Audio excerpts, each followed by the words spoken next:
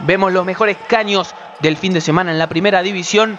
Edu Villalba ante Barracas Central. Comentanos y opina cuál fue el que más te gustó de estos caños que vas a ver. Gabriel Ramírez ahora se toma revancha de su equipo y le tira un túnel al 10 de San Lorenzo. Kimberley Boca, Sebastián Iribarne es el protagonista de ese lindo caño hacia adelante. Quería ir para adelante, me vino a presionar y vi la oportunidad y lo tiré. En el mismo partido, el campeón del mundo, Santiago Basile, le metía ese túnel al uruguayo Juan Custodio.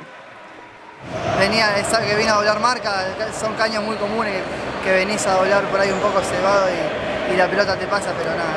Y para cerrar, vemos la magia de Franco Marcone ante Ferro. Muy bien el 10 de Lomas. No, se me venía a apretar, salió rápido, estaba de espalda y nada, quedó la única manera de salir era el caño.